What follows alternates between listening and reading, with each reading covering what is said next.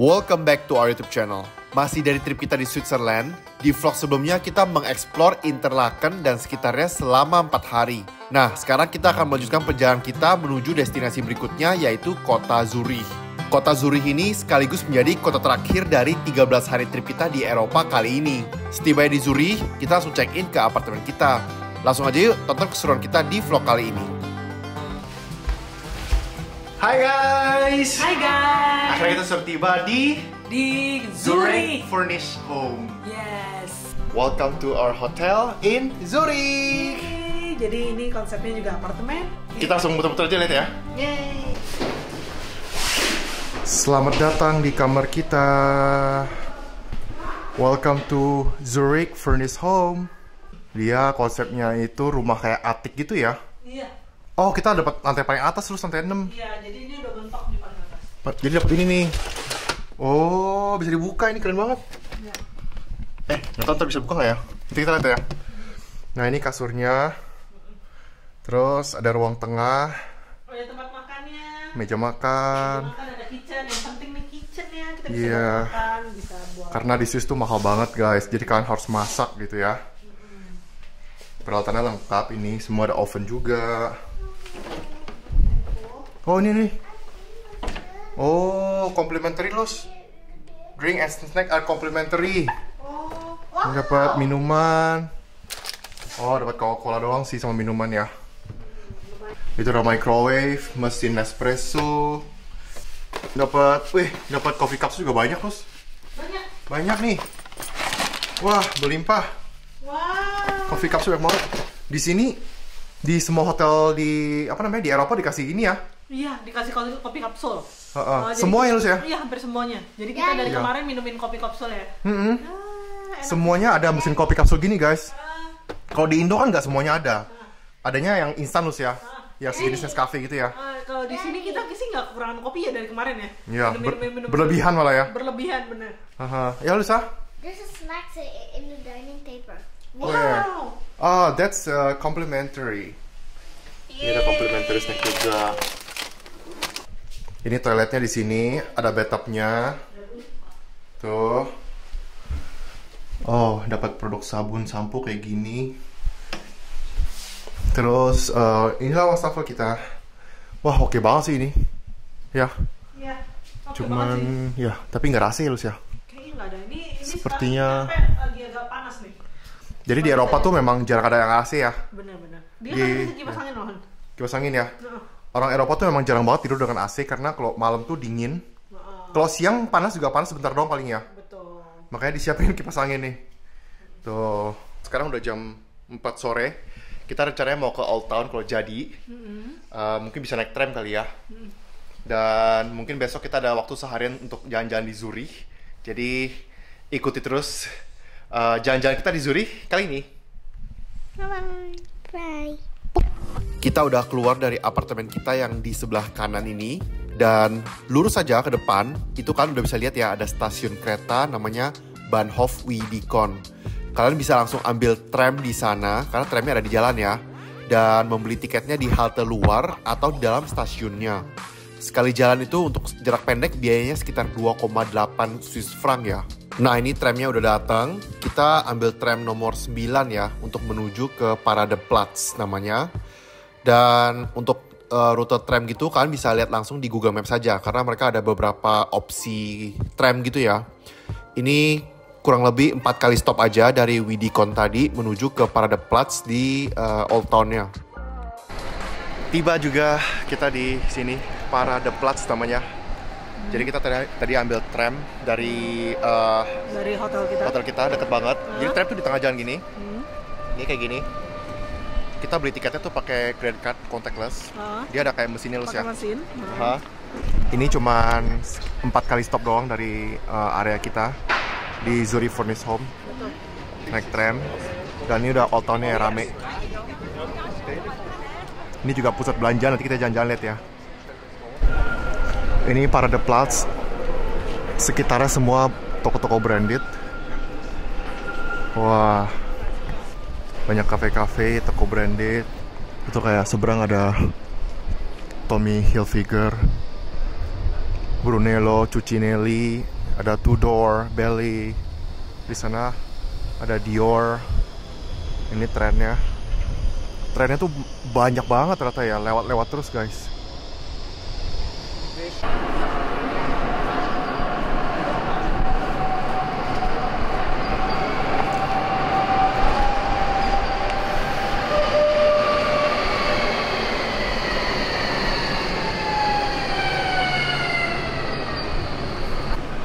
Seru ya liatin tram jalan. Kiri kanan toko branded semua.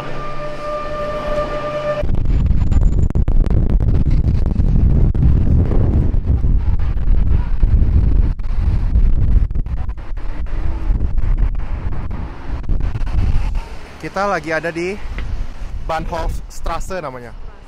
Ya, bagus nih. Bagus ya. Bagus tempatnya. Ini Tapi? Sekilas mirip kayak Lucerne nggak sih Lus? iya, mirip ya. Mirip ya. Jadi ada ada lake di sini, terus ada bangunan-bangunannya.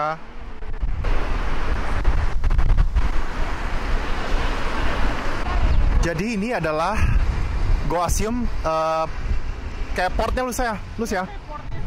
Kayak buat naik kapal feri kali ya, Iya, atau ya. speedboat ya. Bilang. Jadi ini ada tiga jalur, kayaknya sih gua anggap ini kayak depannya soalnya ada kayak kapal kapal boat gitu loh, kapal feri kali ya kecil gitu. Tuh, jadi tiketnya belinya di sini nih. Zurich Burgklip Burgkliplatz namanya.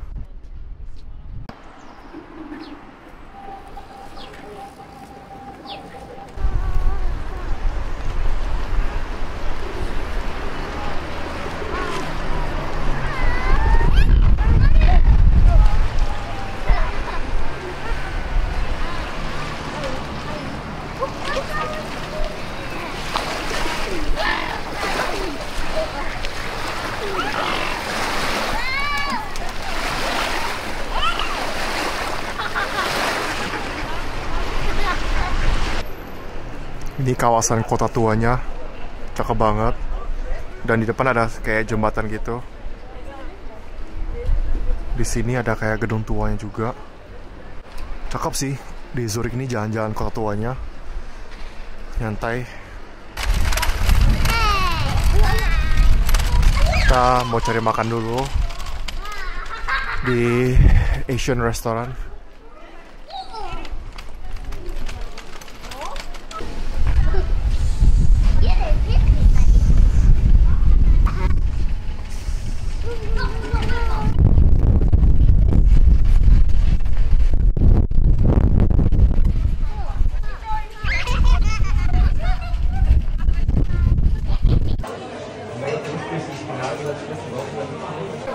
Bosan nggak Bos? udah agak mau lupa.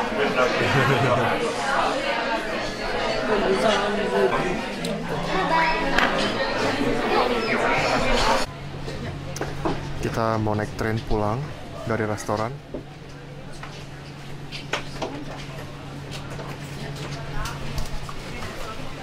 Ini map dari Zurich ya, lumayan complicated ya, transportasinya lumayan lengkap.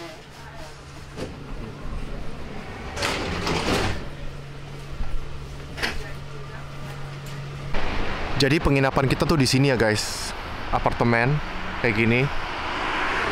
Ini namanya Zurich uh, Furnished Home nomor 6 tuh di sana angkanya. Kita kalau jalan ke tram tuh sebenarnya enak di sana. Deket banget. Sama belakang saya tuh udah masuk tol sana. Kalau ke Luzern nggak lewat sana katanya tuh Luzern tuh ke kanan. Masuk tol. Selamat pagi. Kita udah di tram sekarang. Kita akan menuju ke Paradeplatz. Let's go. Yuk, jalan yuk. Depan kosong. Ke belakang aja.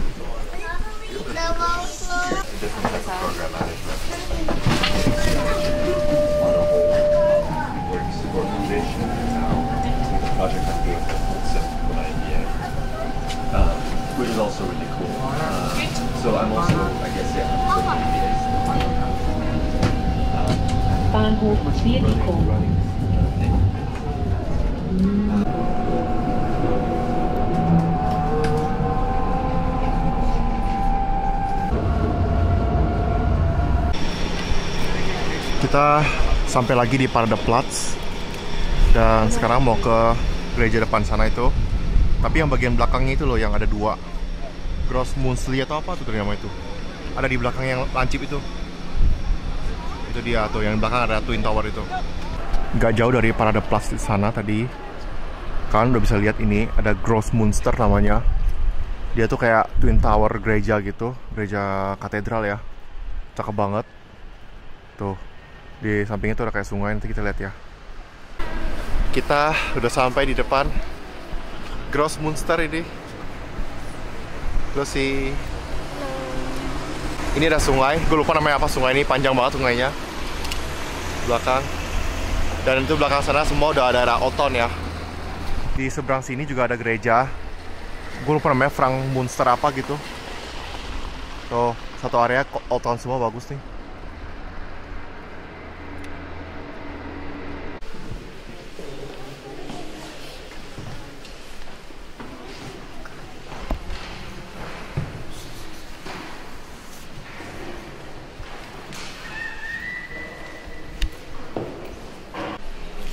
Kita mau naik dulu ke atas tower di sini.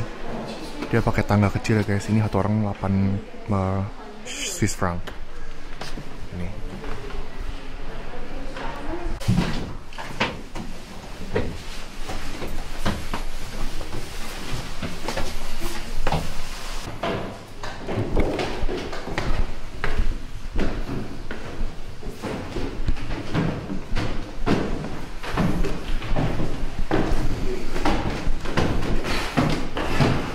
Masih jadul ya pakai kayu semua. Lihat material kayunya kayu yang jadul-jadul gitu.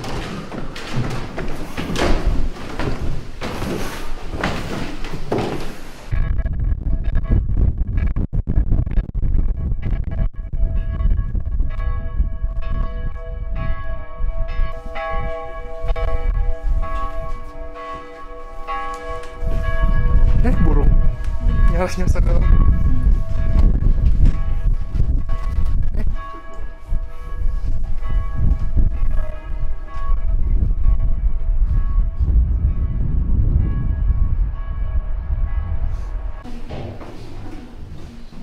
Kita mau turun lagi sekarang.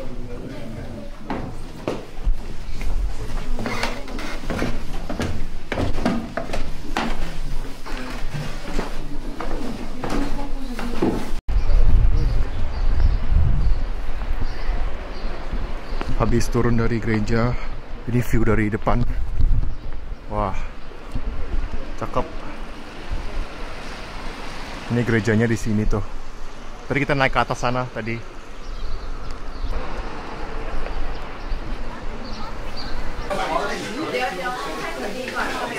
Makan siang di restoran Thailand. Ini tadi namanya apa lo? Thai apa? Thai style. Thai style ya? Dia kayak rumah makan kecil gitu. Ini pesan kari. Satu porsinya 20 Swiss franc ya. 350 ribu.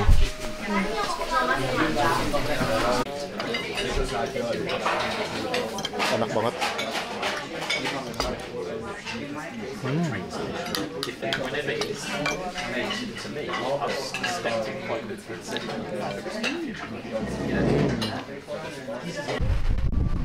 Balik lagi ke danau.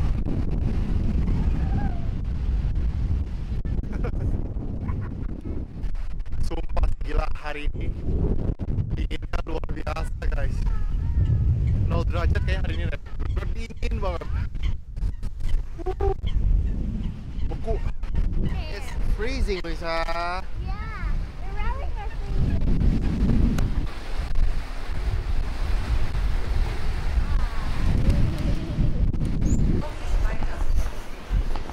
Banyak ganggang kecil kayak gini, banyak ganggang kecil kayak gini yang lucu-lucu deh.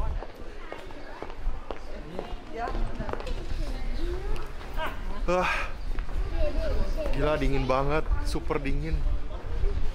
Oh. Ini lucu banget. Ini lucu banget. Bookstore. Udah tutup.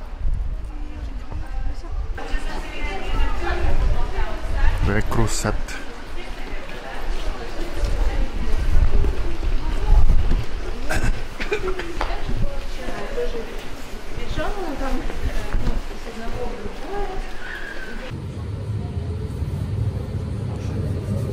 Hari terakhir di Zurich. Naik tram menuju ke apartemen kita. Deket banget ya.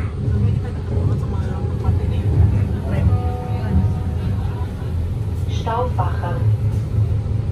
Stauffacher.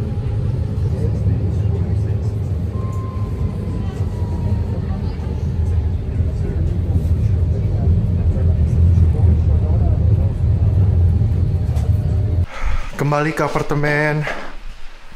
Hari terakhir di Zurich Tanggal 17 April. Ini pas setengah tujuh nyampe di apartemen. Setengah delapan malah Setengah delapan malam di apartemen. Tapi kondisinya Masih terang guys. Karena kalau lagi menuju summer tuh malamnya tuh lebih lama. Ini pas banget nyampe nyampe apartemen tuh hujan deras. Wah. Bisa hari terakhir besok kita udah bakalan ke airport jam tujuan pagi karena flight kita jam 11.15 jadi besok kita akan eh, terbang ke Jakarta dari Zurich via Abu Dhabi dulu dari Abu Dhabi baru ke Jakarta inilah akhir dari video jalan-jalan kita di Zurich di Swiss. So, thank you udah nonton keseruan kita di trip kali ini dari Milan, terus ke Chamonix, terus ke mana lagi terus Um, Terus habis itu ada ke, ke Interlaken, Interakan, Lucerne. Lucerne, dan terakhir di Zurich. Oke? Kalau kalian suka dengan video ini, jangan lupa like, share, dan subscribe to our YouTube channel karena kita bakalan sering-sering posting uh, trip kita bertiga. Oke? See you on our next vlog. Bye-bye. Bye bye. Boarding. Lisa. Kita mau boarding dulu di Etihad. Sekarang kita mau lakukan perjalanan dari Zurich ke Abu Dhabi. Gue lupa berapa jam, mungkin 7 jam kali ya. Habis itu baru lanjut dari Abu Dhabi ke Jakarta. Dan inilah akhir dari perjalanan kita ke Italy, France, and Swiss. Sampai ketemu di vlog kita berikutnya. Bye-bye.